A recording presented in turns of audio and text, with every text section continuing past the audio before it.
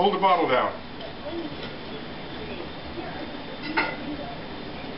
Because I want to pull up on it. You, can you get both hands on it?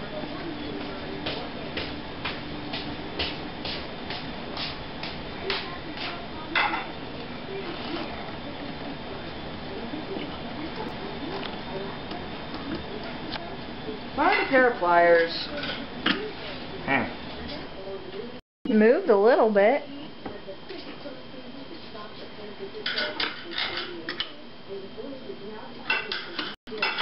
This is how a red opens a wine bottle.